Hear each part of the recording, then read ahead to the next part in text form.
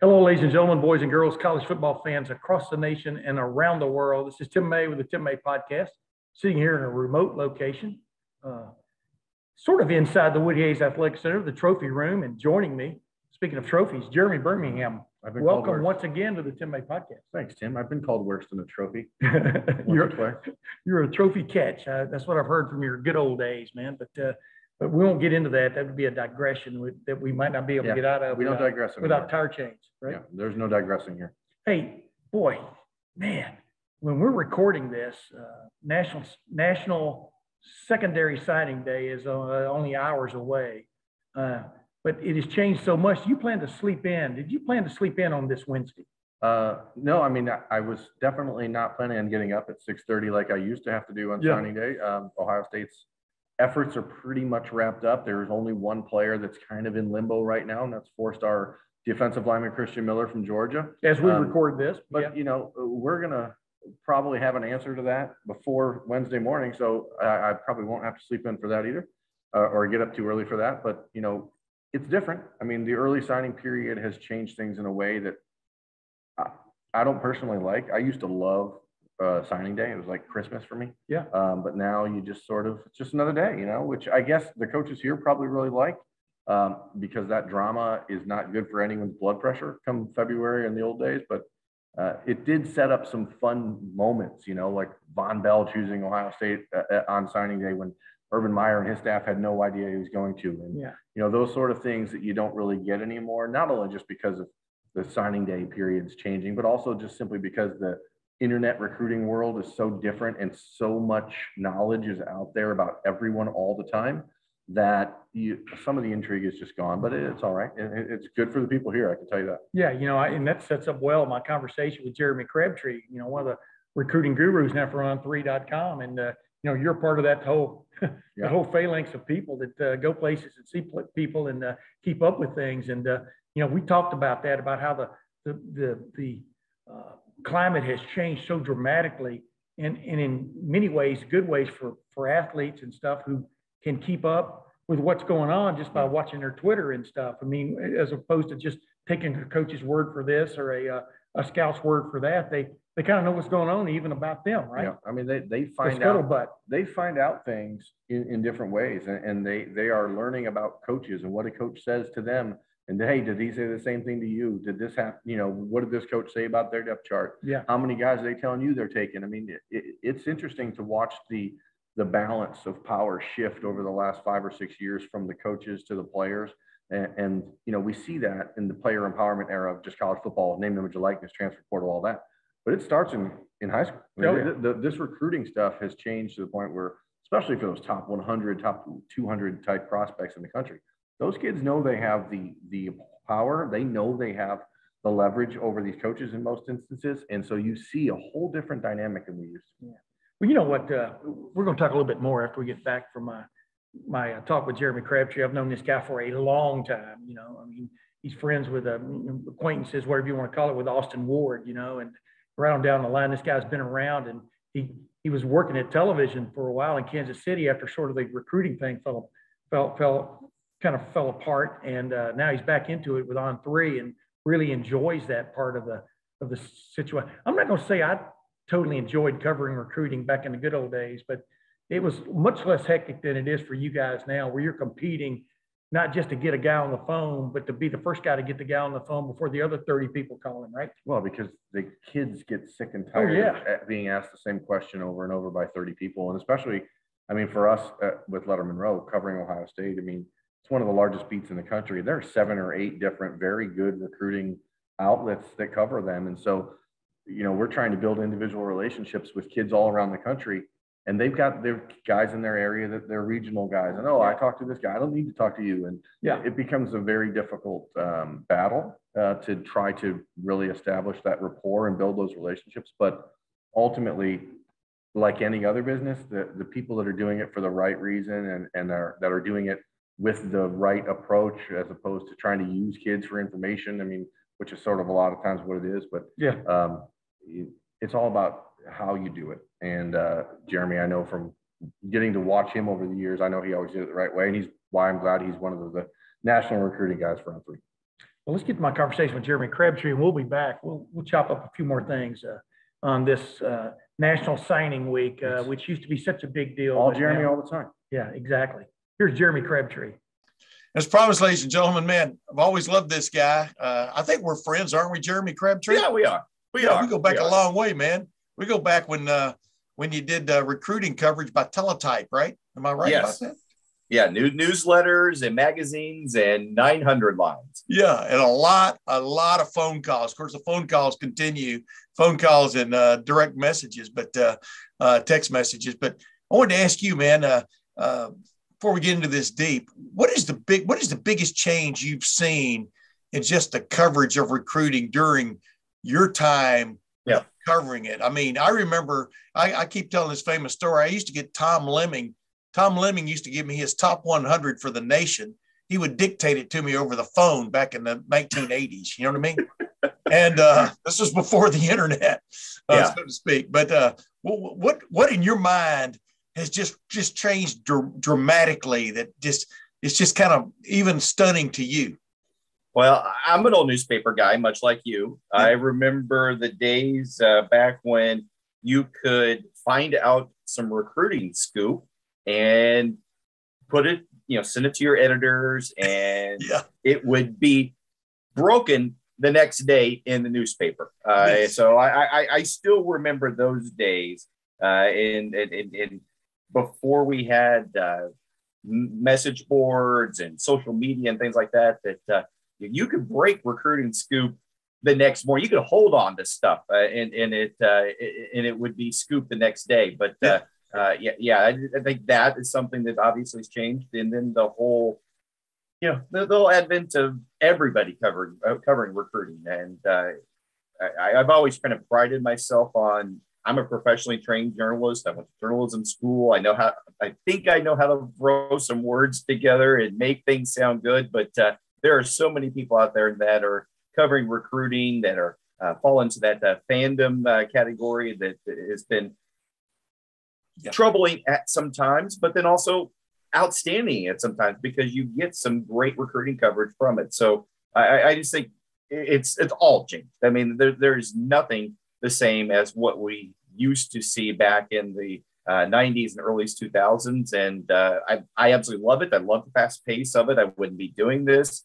Uh, I was out of it for four years and covering uh, hard news at a TV station in Kansas City. And uh, I, I would, I, I, I almost died because I had to cover politics and, and, and, and COVID and murders and, and things, things like that. And uh, get, get me back to the good old days where we're covering recruiting and, and, and doing it in this new world that we're in. yeah. I was going to say there's fewer dead bodies covering recruiting. Fewer is, Yeah. the key Just, term. just a few. yeah. hey, real quick, I wanted to ask you this too, though. Uh, has, has the just the onslaught of, like you said, just pop up sites that become fairly major players in this now? You know, by one by hook or crook. I mean, Mhm. in one way, though, has it made it easier for like the athletes to understand what's going on? You know what I mean? I mean, whether Mhm. they're being uh, BS'd, et cetera. I mean, what what what what is? I guess what has been the plus side? Do you think for the athlete involved? Well, the plus side is the social media now that gives the kids the platform to break their own news. I mean, that that's the biggest thing is that Yeah. they can kind of control their message. And previously, we were in the world where. Uh, Wait, let me interrupt you. Yeah, that's what Tom Brady thought. Now go ahead. go ahead. yeah, we'll, we'll see if those guys are right in the end. They're here. Yeah, but, uh, exactly. It's not over till it's over. Yeah. yeah, exactly. But I, I think the, the the new world that we're in, it gives the kids the, the opportunity to control their message and, uh, and make their announcements on through their own way, or uh, trust, build trust with certain people that they can build a bond with them, and they can share their news with them. But uh, uh, it, there were there are some times, and we, even ran into this, you know, in, in this. Uh, uh, recruiting class here coming up with Devin Brown, where there were some uh, miss people that uh, allegedly misquoted him, and he used his social media platform to call them out. So I think this it has created a lot more transparency. I think is where I'm going at with this whole thing is that we're in a world with there's more transparency. You have to uh, maybe be even better at, at your craft than you ever were before because there are so many people covering it. Yeah, you know, Shannon Terry had this big idea about having starting on three. You know what I mean? Couldn't keep, couldn't stay out of it. You know, couldn't stay out of business. But I mean, when he goes around and hires a guy like you, for example, Ivan Maisel, but, mm. but like for you, example, man, to me, the credibility, you know, just instantly goes way up and stuff. And uh, and I want to credit all you guys for the for the work you do and stuff. And of course, Jeremy Birmingham on our end at uh, yeah. at LettermenRow.com, man, he's in he's indefat- indefatigable, as I like to say. I like to use that word, even though I'm probably mispronouncing uh, it. But he and uh, Zach Carpenter and yeah. Spencer Holbrook, they just stay on it, top, yeah. on it constantly. Because, like you just said, it went from a uh, eight hour shift at a newspaper to a 24 7, 365 yeah. endeavor, right? I mean, it's crazy how it has changed your life, right? Yeah, yeah, yeah. That's kind of, I do enjoy it. I, I enjoy that part of the process. I I, I enjoy the never-ending news cycle. Granted, there are some times. A great example of uh, I've got a daughter that is she's a junior and she is being recruited uh, to play college soccer. So wow. we were on a, on a visit this past weekend uh, uh, on Saturday afternoon in Canton, Missouri. We're, we're on the other we're, we're right on the Mississippi River uh, over at, at, at, the college campus, and my phone is blowing up. I'm doing I'm doing uh, work on my telephone while she's out there doing soccer, uh, soccer tryout at, at, uh, with, at an ID camp. So yes, yeah. it's a, it's a never ending process. You have to have a passion for, for this. It's, it will eat you up if you don't put the time into it, but also there it's, it's a different cycle. I mean, you, there are times where you can step away a little bit here in this, this signing period, signing day that we got coming up here uh, on, on Wednesday. To be honest, there's less than 15% of the players left on the board. And that's what makes those 15% of guys even more newsworthy. But it's unlike any other signing day that, that we traditionally, you know, as, as old timers, uh, we, we don't, we're not used to having only 20 guys to really care about on, on signing day. It's just the new world that we're in. But uh, uh, this is it's it's fun. It's it's hard, but it's also very rewarding because you get to build relationships with uh, the stars of tomorrow, and you, you meet great people like you and and Berm and Austin Ward, all those great folks that uh, across the board, and you be you get to be part of something much bigger than just yourself. Yeah, absolutely. I, I agree with that 100. Uh, percent Speaking of Devin Brown, a lot of people have been wondering how he suddenly became the number one prospect in the class of 20, 2022 in the uh, on three rankings. Explain to people how that works. I I explained that one of the things was you know folks had another chance to look at him at the All America yeah. for All America game workouts in San Antonio, for example, yeah. and stuff. But uh, explain to people how that works and that you're not just coddling to the uh, vast Buckeye Nation, which you know is one of those major yeah. major factors uh, in, in in in basically uh, uh, watching recruiting, but also sending money to people uh, to yeah. keep up with recruiting for them. Go ahead. Yeah, no, you're you're, you're right. That was uh, a, t- a tough tough call, and fortunately, I personally don't have to make that call. That's made by Charles Power, our our, our tremendous uh, national recruiting direct scouting and rankings director, and, and Jerry Hamilton, our another uh, our other national analyst. But there is evidence out there. It, it, it is this doesn't this this wasn't something where we said oh yeah, let, let's let's pander to the Ohio State fans. This is something where we had a great opportunity to see Devin Brown for a lengthy amount of time. Yeah. Every single day during the All American practices, All American Bowl practices. Then in the game, get to see how he interacted with uh, picking up a new scheme, new coaches, working with new receivers.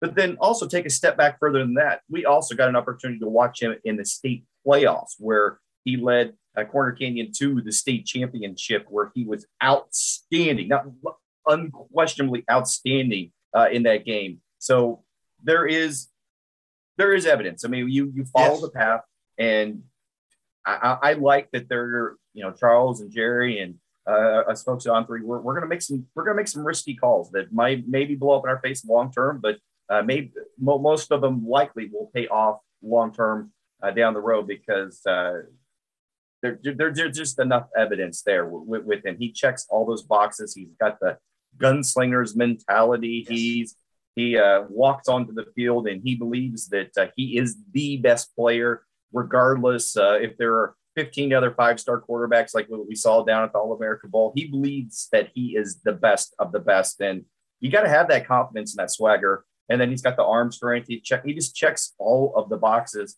But no, this this wasn't something where we just said, you know what, he's going to Ohio State. Yeah, we're gonna we're gonna throw him up there. No, this this this was something that our team and and, and did a lot a lot of research on, and and it's it's definitely different than the industry, and that's why we but we laid it out there for everybody and, and explained why we made that decision. Yeah. Well, no, I mean, uh, by the way, that Corner Canyon uh, state championship game was like the Bills Chiefs, you know? Yeah. I mean, that, was. that went down to the last guy on the field. Uh, uh don't, don't, don't, bring up the Chiefs right here in Kansas City. I know, man. I'm sorry about that, my man. But, you know, uh, I've known Joe Burrow since he was 17, you yeah. know, and his dad yeah. and I've kept in touch. And I've had his dad on my podcast many times, especially during that run to the Heisman Trophy way back when. And uh, boy, that that's a great story yeah. that continues to add new chapters. But I want to tell you about Devin Brown. I had him on my podcast uh, uh, the week he signed with Ohio State in December. And uh, what what impressed me about him was, uh, for example, I asked him about the name, image, and likeness thing. And he goes, his main mm-hmm. focus yeah. is going into Ohio State is to compete yeah. for the starting yeah. quarterback job. You know, and uh, that's even though obviously C.J. Stroud is back for at least one more season. And at that point, uh, um, I'm trying to remember because uh, guys, you know, fell off. Obviously, got into the transfer portal, but uh, the Ohio State quarterback room is was filled with four and five stars. Mm-hmm. It was mm-hmm. crazy, you know, still is for the most part. But uh, but what I wanted to get to you, what I wanted to ask you about though is uh, how much does it on the recruiting trail does it matter when a, for example, now a guy with uh, established credentials, Ryan Day, is focused on a particular quarterback? Yeah. How much does that get y'all's attention from the standpoint of, well, all right, now, you know, we consider ourselves pretty good experts, but here's a guy that, yeah. boy, you look at his record of quarterbacks breaking records at Ohio State yeah. since he showed up. It's nuts, you know. And uh, how much does that kind of weigh into things a little bit when when you know on Ohio State or an Alabama or a Clemson, et cetera, are on the trail of a kid? Mm-hmm. No, you, you throw in Lincoln Riley, especially yeah. previously what he did at Oklahoma and then now what he's hoping to do at, at USC. You're, you're, right. You, you have to look at that as, as, as part of a factor because grant there are people that are better at this than, than, than other folks. I mean, there, there are people that are great at identifying certain positions. Uh, there, you look at it, even NFL draft. I mean, you, you, you yeah. see certain professional teams are great at identifying uh, people, and there's others that aren't, and that's why there's teams that go to the Super Bowl and teams that aren't, and there are teams that uh, win college football playoffs and uh, that don't, don't win college football playoffs. So there wait are. Wait a minute, wait a minute. Was that a shot at the Cleveland Browns? No, I'm just joking, man. Go ahead now.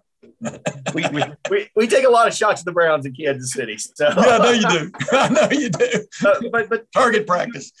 No, you're you're you're right though. There are, oper- you you do see uh, from from a recruiting coverage standpoint, you do see certain schools that are great at evaluating certain positions, and uh, you you do have to take that into consideration. And it's, yeah. it's a factor; it's not the factor, but uh, uh, you, you as far as you know, you talk about checking all the. I talked earlier about checking all the boxes, but uh, certainly you you look at things like that and you see that. Uh, yes, a Devin Brown is uh, has everything else that, that, that you want: the arm strength, the talent, the moxie. But then you know what? Yeah, Ohio State does have a great track record, but then so did uh, the other schools that were recruiting him. So you could identify. I mean, Steve, you know, Steve Sarkisian went all in on him at, at, at one point before winning uh, Quinn Ewers over. So yeah, yeah, you, you see those those those signs, and those are tangible evidence that uh, you know your, your your rankings are on the right track. Is the Quinn Ewers situation or the Quinn Ewers story? Is it the first sign of the apocalypse for uh, college football? I mean, the combination of a big time recruit leaving high school early uh, going to Ohio State, changing yeah. his mind, going to Texas, uh, having an NIL contract before he had even uh, a scholarship. Uh, uh, you you understand where I'm going? I mean, yeah. I really think oh, yeah. that's an outlier as we speak now. But uh, do you worry? I don't know if worry is the, is the right word. Are you concerned about where college football, this whole circus is headed? No, I mean, yeah. I mean, I, I'm, I'm right there too. I think I think we're like minded on that because uh, I, I, what I love about college football is that uh, you go to a school, you are a Buckeye for the rest of you know traditionally you are a Buckeye the rest of your life. You often will live in that community. You'll often find who you marry. Uh, you you'll build your lifelong bonds in that that community. I mean that's that's what that's what I've always loved about uh, college football because you were known. You know, you, you know, Bo Jackson. Yes, he was this great football, a uh, great uh, professional baseball player and, and, and NFL guy, but he is Auburn. I mean, you you know Herschel Walker, he is Georgia. I mean, you go down the list of all those types of uh, types of situations, and and that's what I, me personally, have always loved uh, uh about college football. But yeah, we, we are seeing some of that erode away because of the world that we're in now. And I, I get the counter argument. I get that uh, uh, because coaches can move here and there uh, at free will, essentially, uh, that yeah the kids do want that opportunity to get that one uh, immediate transfer opt out. But then also you throw in the whole NIL angle uh, and overbuilding some of these these pro- these these players before they've even played a down of uh, uh, of a college. Well, I, I get that side of things, and it's it. It, it makes for interesting. It's going to make for an interesting uh, discussion on, on, on what happens in, in, in, the future because uh, it's it's not changing. And maybe we will get some better better regulation. And i think that's maybe what the NCAA, you know not maybe that's what the ncaa is crying out for. It's what a lot of the uh, you know I'm, I'm here in big 12 territory and you know down i'm a, I'm a k-state grad. I went to school k-state. I got right on the street from ku in missouri and uh, they can't compete from an nil standpoint with the texases the oklahomas the ohio state so uh, this uh, supposed level playing field that we are supposed to uh, somewhat have in college football. It's it's not there. So, long story short is that it's it's it's it, it's it's a it's a weird time we're in. Yeah. Well, you know, and two, you just named off the name. The rich get richer in this situation. Yeah. I mean, that's you know that you're never going to change blue bloods. You know what I mean? Yeah. I mean, yeah. You know, yeah. royalty is royalty, and it's been earned for a reason. You know, for all kinds of reasons and stuff. Yeah. yeah. Hey, real quick, uh, uh, I don't want to keep you long. Uh, I know you got phone calls to make, even though there's fewer uh, fewer guys to check up on now, but they're still key. But uh, you know, everybody keeps saying the early signing day in December. That's become the signing day. Yeah. You know, this yeah. is the late signing day, I think is a better way of putting it now. Uh, I've been saying that ever since the early signing day came because you knew, like I said, the blue bloods, the powers that be, mm-hmm. were going to get on that early signing period, get things done, get the hay in the barn, even before they went to their bowl games or their college football yep. playoffs and stuff. But uh, uh, who was a name here? Because, you know, this is sort of a timeless uh, little uh, podcast we do. I don't want to get into like breaking news type aspect, but who was a holdout name for the second uh, for the late signing period that you think is going to make waves uh, in college football? That that you're you're still what I'm saying. The big what was yeah. the biggest name still yeah. waiting to sign on on Wednesday of this week? Well, there were there were two guys uh, that really stood out. Uh, Harold Perkins, the five star linebacker yeah. down in the Houston Houston area, was he did it.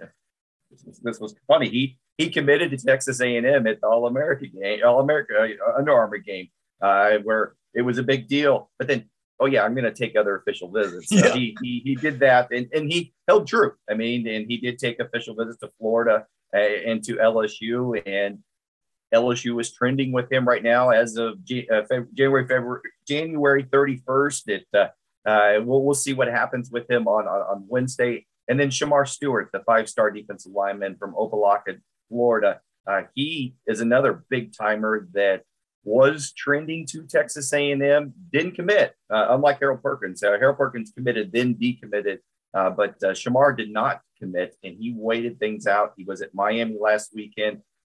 A lot of thought that uh, Mario Cristobal is going to lock that one up here on Wednesday. So, so yeah, I mean that, that's what's kind of fun that uh, uh, I, I, like to call it signing day two. Uh, signing day two, we're, we're going to see there's a fewer amount of guys, but there are some big names out there still. And that's what makes uh, this uh, uh, drama even bigger somewhat because there's just so fewer guys to focus on, but the ones to focus on are, are pretty key guys. Yeah. You know, you just touched on a name though that uh, uh, just it just just intrigued me that in my lifetime I have seen now a coach go from Oregon to Miami, a coach yeah. go from Oklahoma to USC, a coach go from Notre Dame to LSU. head coaches, and you're just going, "What in the hell is going?" I mean, Yeah. it, it that's seriously that's nuts, isn't it, Jeremy? I mean, because usually you build a brand and you Yep. just keep stacking on that. Well, the old days. I mean, I'm not even sure what the old days were all about when you think about it. You keep, keep thinking about Woody Hayes and Bear Bryant, and these guys staying, and Joe Paterno staying forever. You know, Yeah. five or Yeah. six decades. But to those guys, two and three and four decades, Darrell Royal right on down the line. And Oh, yeah. uh, do you, do you think that? Do you think we're going to be dealing with that down the road as much as anything else? And but number two, like you said, this uh, late signing period, uh, it allowed Mario Cristobal to make up some ground a little bit, right? I mean, Well, well, yeah, we'll start with the example, latter. Lincoln Riley, Yeah, for- yeah, yeah, yeah. For fortunately for for Mario, uh, there was enough of the some of those South Florida guys that stayed on the board. Now, well, he's got to Yeah. still close them all. We'll see if he can do that here down the stretch. I think he will, and I think uh, they'll be a class that potentially could climb up into top ten consideration. They're uh, not in the top ten right now, but they're enough on their board that they could do that. Then uh, I don't know. I don't know if this was one of those just weird years where uh, this is an outlier. Uh, where I mean, just just what what type of year do we see so many of these jobs come open at Yeah. at you know blue blood programs or top top level programs? I just don't know if we're gonna see that again. But uh, that's why we do have that uh, the, the ability to transfer because of the things that we saw like this. This silly season was the silliest of them all, and that's in, the thankfully the NCAA uh, thought well enough in advance to put the, the transfer portal uh, part into the, the equation to give these kids an opportunity because uh, you, you saw so many kids that were uh, at Oklahoma, for example, where they they said Lincoln Riley told them that uh, he was going to be there forever, Yeah. and this is his. And then they left, and know, then now now they they've decided to go elsewhere. And you know, Brent Venables did a good job of keeping a lot of those guys at home, but they did lose a, a big portion of their playmaking roster. So uh, I, I I still don't know. I don't know if this is just one of those weird weird years where every all the stars aligned and we had mass chaos, or if this is going to be uh, the, the new norm. I, I think it's going to probably be some, somewhere in the middle. I hedge my bets here. So, so somewhere in the middle where, uh, yeah, there's going to be some big jobs come open and we're going to see transfers all over the place. But I just don't know if we're going to see the the USC's, the Oklahomas, the LSU's, the Notre Dames, uh, the Miami's, the Oregons of the world like what we saw this year. yeah, crazy though. By the way, maybe I Lincoln. Riley, maybe Lincoln Riley, something going to be here forever and or a day. maybe that's what he told him. you know, that little. You always got to watch the semantics there. Yeah. Hey, real quick. Uh, uh, well, I'm not hitting you sideways because I told you what I, uh, earlier what I wanted to ask you about. But uh, um, how's the Ohio State staff? This revamped Ohio State staff. Uh, what from your you're looking at it from uh, thirty thousand feet. Is the way I Yeah. like to I like to Yeah. put it. Uh, how is it done? Do you think? I mean, uh, Jim Knowles, for example, being hired as a defensive coordinator.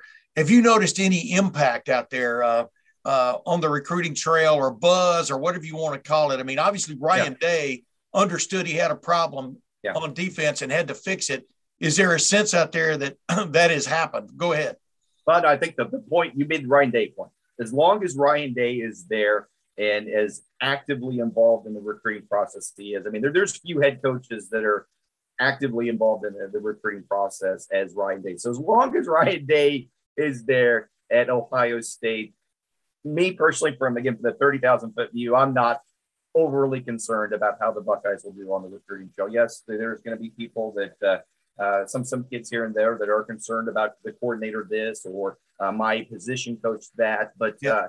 uh, uh, the, the, the man as long as the man's there uh, in, in, in, in selling the program like like to do like they like he does and all the wonderful positives that Ohio State brings to the table. The, the Buckeyes are going to be fine. I mean, yes, it uh, uh, it maybe might have cost them one five star guy here or uh, missed out on you know Wampa or, you know a couple of guys here and there down the stretch, but he's he's he's one of the best head coaches when it comes to recruiting, and as long as that's there, I just I just have a hard time seeing that momentum changing. What, what, why do you say that? Why do you why do you say that about him being one of the best head coaches? I mean, what what stands out about him in your mind from, like I said, watching him from afar? Oh, just the, the investment in the process. I mean, so few head coaches are there lockstop every single step in the process. I mean, Yeah. you know, whether from a from an initial conversation with uh, a recruit and his family to, yes, I'm going to sign off on this offer to remaining in communication with them and trading text messages, zooming with them, FaceTiming with them, DMing with them.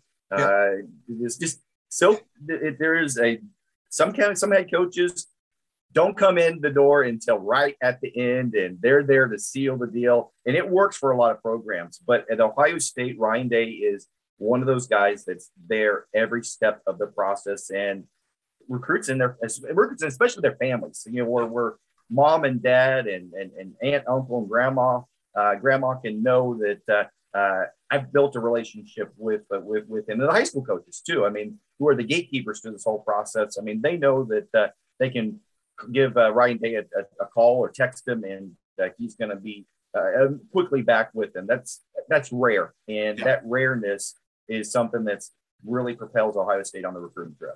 Hey, real quickly, Caleb Williams is is that is it is that interesting to you uh, that this guy won the quarterback job over Spencer Rattler? Spencer Rattler hits the transfer portal, goes to South Carolina. As you and I talk, I don't think Caleb Williams is announced where he's going yet. Am, am, am, am I right? Yeah, as of now, as of, as of Monday yeah. morning. So. I mean, we're talking about Oklahoma, which lost its head coach, and yep. then there were rumors that uh, Caleb Williams is seriously considering Wisconsin. You know, uh, because of their hiring of Bobby Engram. And uh, everybody goes Wisconsin. And I go, well, you know, uh, uh, if you look back a few years, you know, you'll see where they got this kid out of North Carolina State, yeah. who yeah. North Carolina State yeah. no longer needed or wanted. Now that you know, kids won a Super Bowl since then. You know what I'm talking about. But oh yeah, yeah. Wow, is is that as interesting as any guy, anybody who's entered the portal this year, a standing starting quarterback who uh, was coddled, or let's uh, coddled may not be the right word, but was actively cr- recruited by his new coach Brent Venables when he took over, and yet he stepped into the portal anyway. I mean, yeah. is that a sign of the times, Jeremy? What what are we yeah. talking about here? I, I, think, especially at the quarterback position, yes, I think it is a, a sign of the times uh, where you will see guys that maybe have the co- either the coaching change or don't win the starting job, they're they're going to go look for greener greener pastures. But uh, Caleb is one of those. You know, he's maybe a unicorn in, the, in, in this process, so to speak, because he was the number one recruit in the country. He is a guy that stepped onto the field as a, a true freshman at arguably one of the top, you know, 10 programs in the country. Not arguably, they this Oklahoma yeah, is a top 10 program. Yeah. Uh, and did it in some of the, the biggest games for the Sooners this season and, and, and, and, and did it well. So the, the proof is there. I mean, we, you could see that, uh, this kid is everything that he is advertised to. Uh, you know, going back to what we talked about earlier, does the, the old school Jeremy Crabtree that loves uh, college football for, for what it is and was like that? No, but on the on the flip side too, I also kind of understand where he is coming from, where the coach that recruited him isn't there anymore. The, the the the, quarterback coach, everybody, the support staff. It's not it's not the same Oklahoma as what he made that decision originally to go to. So I I, I understand the decision to look around, but uh, you know it's it's it's a new it's a new world, and that's part of uh, it's part of the, the recruiting process now. You know, great example, stay in stay local in the Big Ten there. Uh, Scott Frost at, at, at, at Nebraska, he was getting hammered hammered by everybody, including you know media folks like me were hammering him for his lackluster uh, recruiting classes this year, and he openly was telling people, "I am saving scholarships for the transfer portal." Signed, I think, what uh, 12, 12, maybe 13 guys on yeah. signing day, and saved the rest of those scholarships for the transfer portal. And you can make an argument that Nebraska uh, did as well as anybody out there uh, signing, uh, not signing, but getting kids to come up as part of the transfer portal, including two quarterbacks, uh, Casey Thompson from Texas. They're going to, and suddenly, much like it we saw at Michigan State Cup with Mel Tucker, we're seeing it at Nebraska now where their entire rosters transformed because of the recruiting, uh, uh, because of the transfer portal. So it's a new wrinkle to the world of re- re- recruiting. And uh, that, that's something I think we're going to see more and more where some schools are just going to stay, hold back five, ten scholarships and see what we can do with the transfer portal. But uh, it's a it's a risk. It's a risk. I mean, because if you go all in on these uh, these transfers and they bust. Uh, you know, as as University of Kansas and Charlie Weis about uh, how uh, recruiting transfers and JUCO players uh, can can blow your program up and set it back for uh, 15 years because that is a, risky, risky thing because you want to continue to build those high school kids and get them as part of your program. Yeah, like you said though about Caleb Williams, I mean, it's like he went to this, he moved in with this one house and this family, Yep. and Yep. suddenly that, the only thing that's still standing is the house. The family is all moved out, and there's a new family moved in, and you Yeah. know, uh, but Yeah. but then the flip side, I mean, the loyalty aspect of everything is kind of like out the window now, right? I mean, I'm I'm not Yeah. blaming anybody for trying to to better themselves, but that's what's gone out the window with this, right? Yeah. Oh no, that that's Yeah. that's uh, that's the that's what I loved about college, the college athletics, and especially college football. That Yeah. you were, you know, I you you you went to school, you were that for the rest of your your, your life, and that that's certainly changed. And um, I think we're just gonna have to get used to it. Yeah, Russell Wilson, uh, you know, uh, Joe Burrow. There are all kinds of examples where it went really good. Jalen Yeah. Hurts, even really at Oklahoma when he moved from, Yeah. from Alabama, uh, went went pretty well for him in there. Hey, last thing, uh, who who who in this Ohio State class, in your opinion, other than Devin Brown, uh, has piqued your interest that you're going to keep an eye on?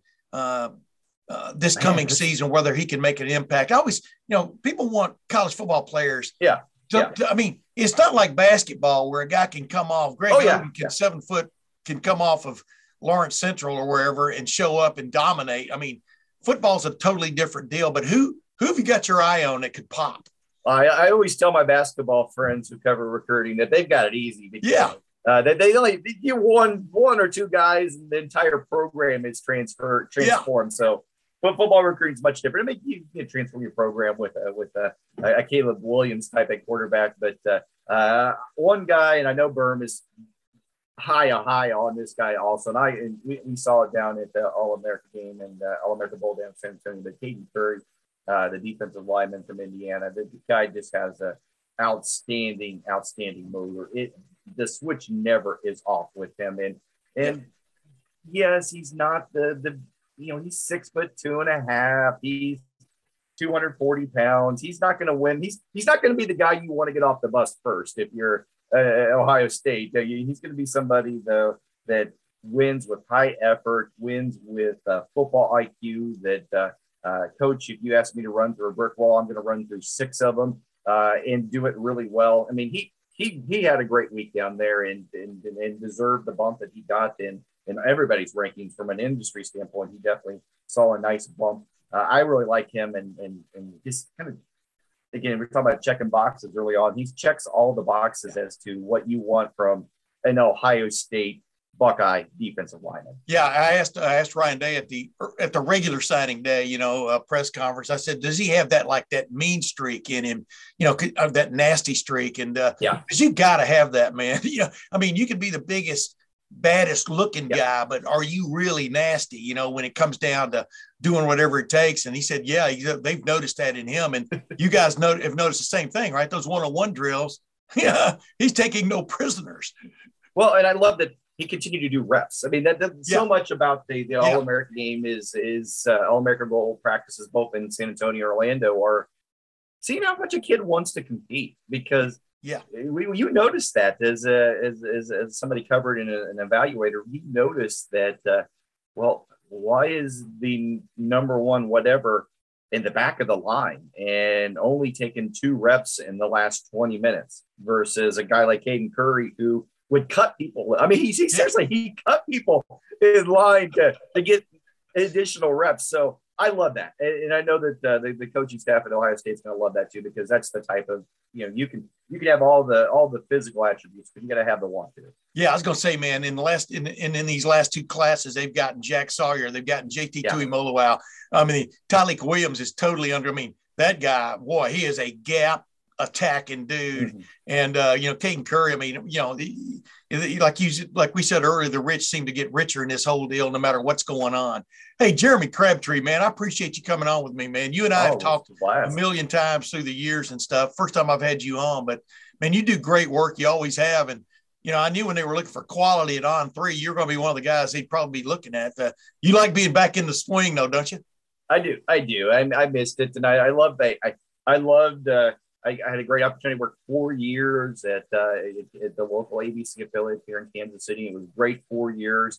Uh, I got to cover two Super Bowls and, and, uh, uh, three AFC championship games. Didn't get to cover the fourth one here. Uh, don't get to cover the Super Bowl here coming up. Sorry, uh, uh Chiefs fans. Uh, but uh, no, I, I I loved it. But I my my heart and soul, my career was covering college football and college football recruiting, and I I go way back. I mean, I I'm one of those uh, as we kind of talked about here. I I was one of those original guys at the at Rivals.com. Yeah, Bobby Burton and I were employee number one and number two, and, and we've done it all. And I love that we've seen uh, this industry grow to where it is. And uh, when then Shannon and Bobby came back and said, uh, "Hey, we we want you to be a part of this uh, new venture." It was uh, it, it, it took me maybe 30 seconds to say yes, and uh, and, and unfortunately, my friend my, my friends at the KMBC uh, let me let me come on board a little earlier than what we thought, and uh, we're we're we're rocking and rolling, and I can't wait to see what the, the future holds. And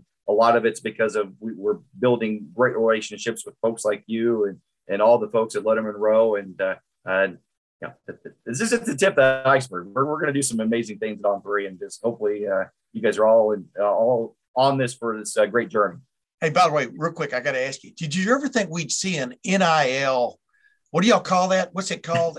An NIL evaluate database yeah. or valuation. yeah, is that crazy or what? I mean, it's, and it's, it's, crazy, it's accurate, but, it, but go ahead. You know, it's crazy, but it makes complete sense that you, oh, you yeah. have to have you have to have it, and and and, and that's what I love about uh, working at a at a company like On3 and with a, a visionary like Shannon Terry who uh, has the forthright to think of things like this. I mean, there are some really cool things that I mean.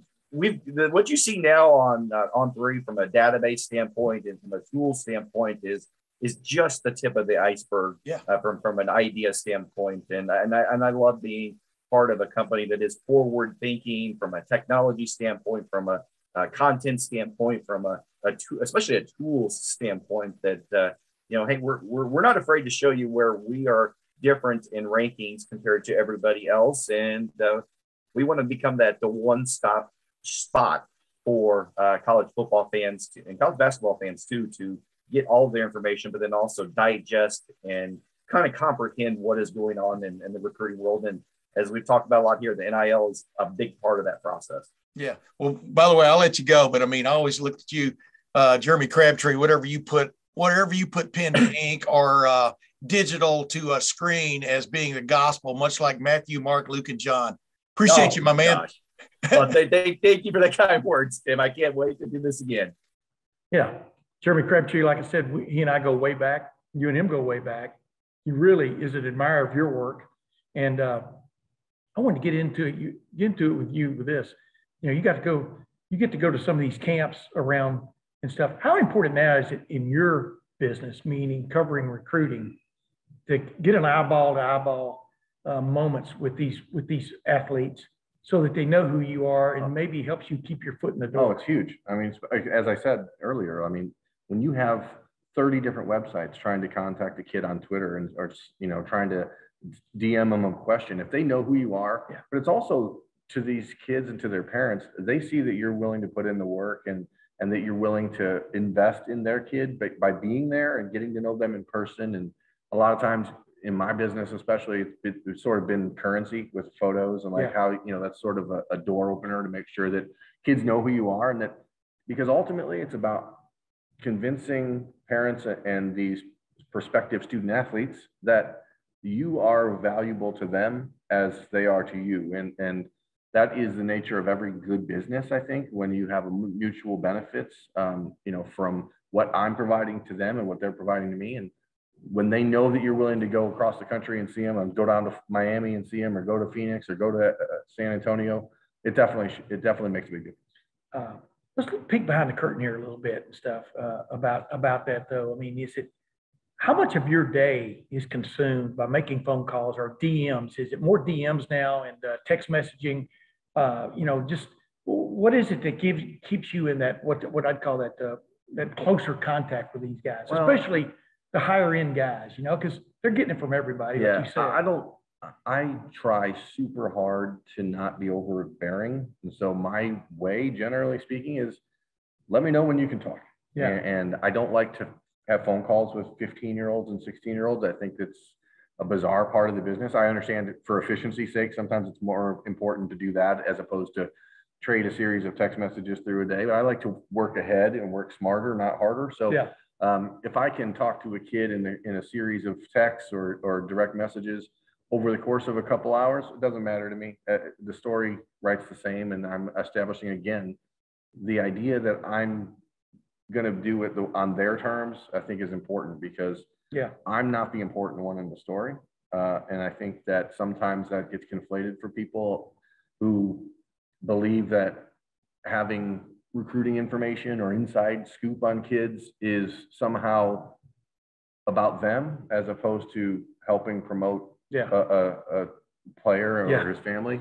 Yeah, I know Um, exactly what you mean. And so to me, that's really become sort of the way I, I feel like I have to do it that way. I don't ever want to be the, the reason that someone, you know, says, oh man, I can't stand talking to the media. Oh, I, I can't answer the phone anymore. This person's called me 30 times.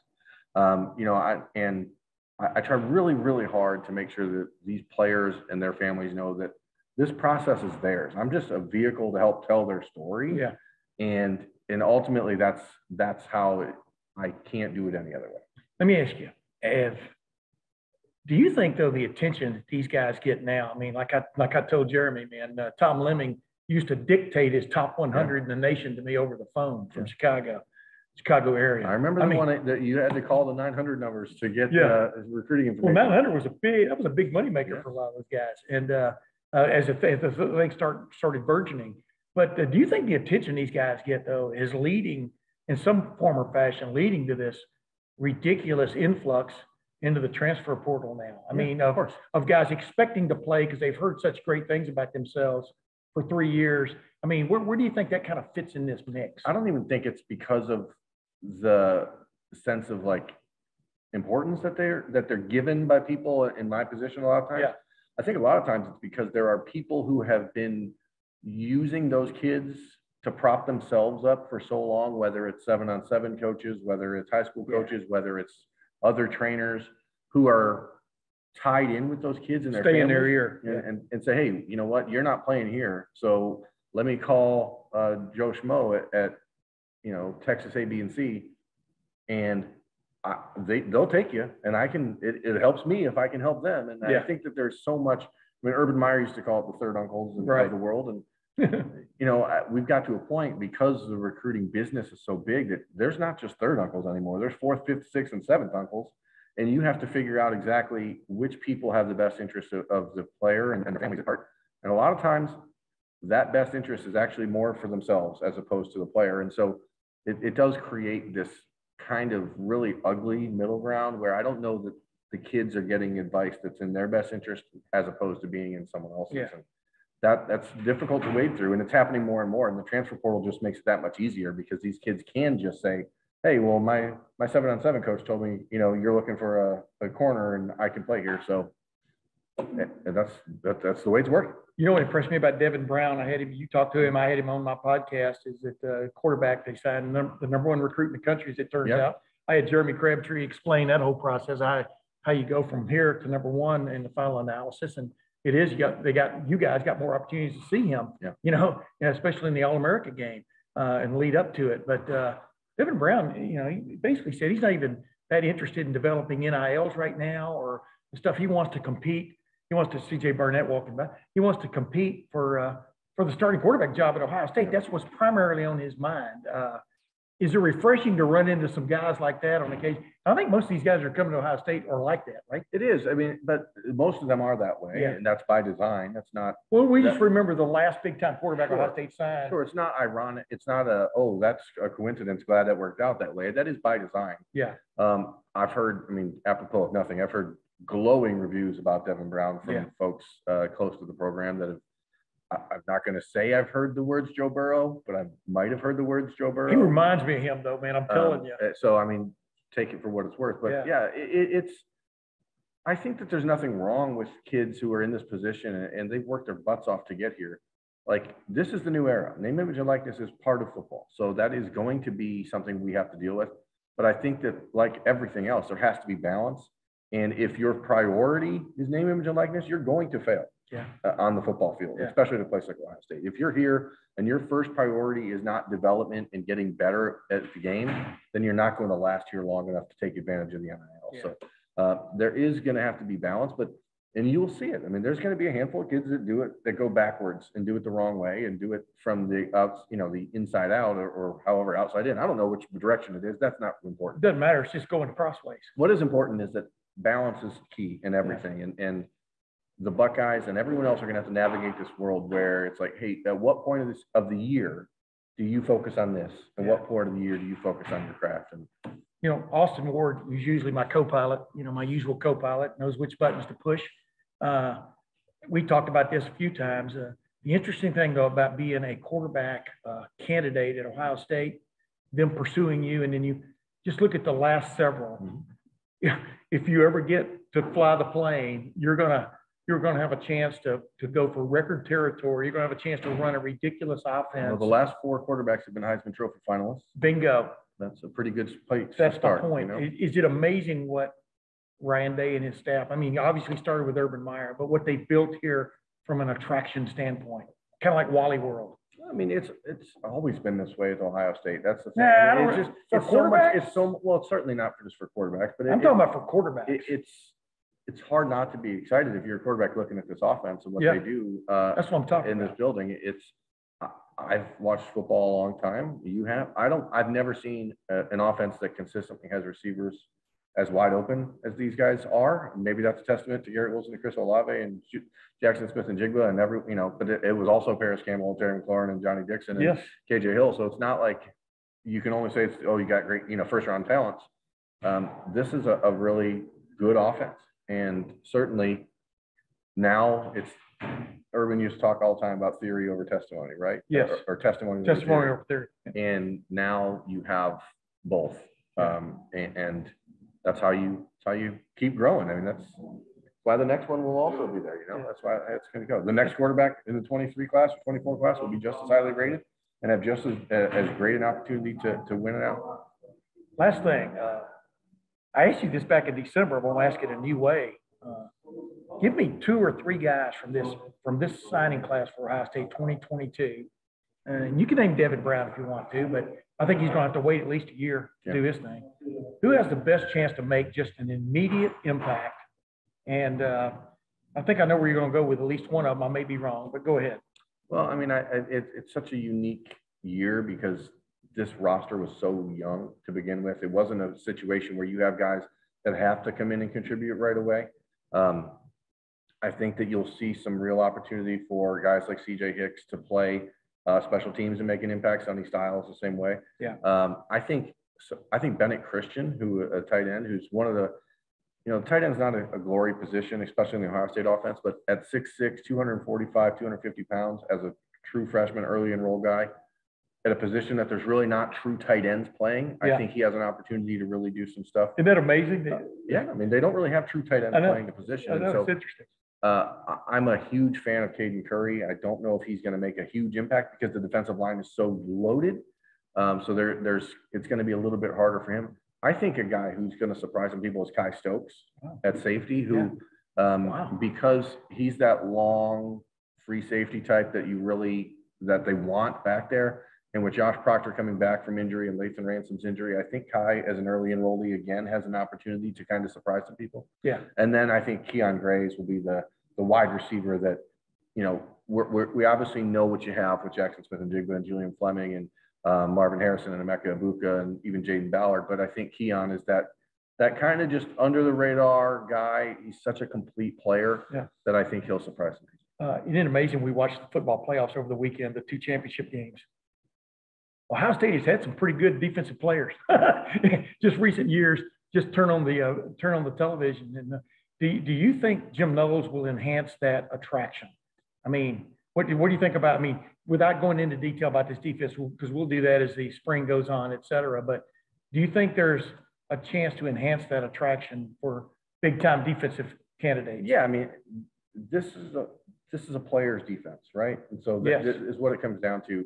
When I talk to recruits now, all I hear about is Chase Young, Jeff Okudah. So Yeah. somebody else has to be that guy, right? Somebody, th- this, they have to have new players emerge into that role. I think this defense allows for some guys to become stars. And I think the Jack Sawyers of the world are that type that I think could really step into that, that Leo role and do something special. So yeah, I think it can enhance it, but I, I also think it's a situation where it's Ohio State. So as long as they go out there and don't put the worst historical defense in the history of the program on the field, Yeah. people are gonna be like, okay, fine, I can go there and I can win the Big Ten and compete for national championship. So uh, I, I don't know that it's gonna be an immediate thing, um, because you need to see consistency, but I think what people are looking for is just aggression, right? And, and to, to your point about the Bengal, the Buckeyes in the, in the, you know, Playoffs. playoffs, four of the six captains in the Super Bowl are former Ohio State Buckeyes. And Yeah. so when you start to look at it from that perspective, and Urban Meyer takes a lot of heat from a lot of people, his whole thing here was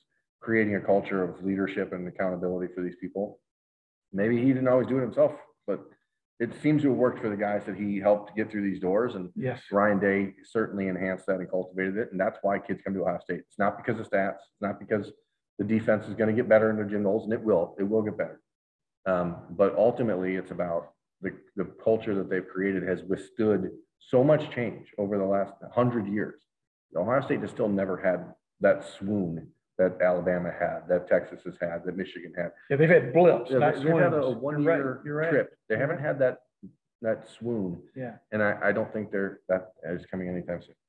Well, ladies and gentlemen, as always, I enjoy it when Jeremy Birmingham steps into the co-pilot seat. Uh, You know, he had a little, uh, I'm not sure he knows exactly where all the uh, uh, controls are for the autopilot. No, I just fly blind. But Jeremy Birmingham, thank you for joining the Tim May podcast again, my man. No And uh, until next week, we'll see you then.